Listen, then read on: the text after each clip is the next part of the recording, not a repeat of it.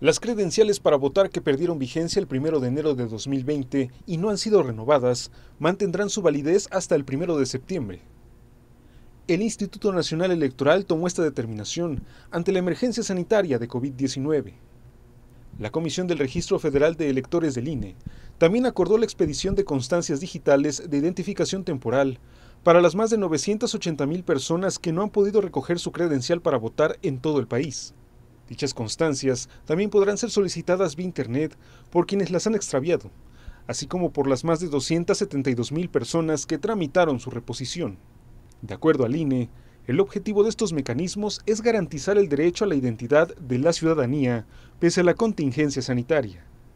Actualmente, los 858 módulos de atención ciudadana del INE se encuentran cerrados, y así seguirán en tanto se mantenga la declaratoria de emergencia sanitaria. El INE tiene un registro total de 1.171.251 ciudadanas y ciudadanos que no han renovado sus credenciales para votar. El estado de Veracruz destaca entre las entidades con más ciudadanos sin renovar las credenciales por haber transcurrido 10 años contados a partir del año de su emisión.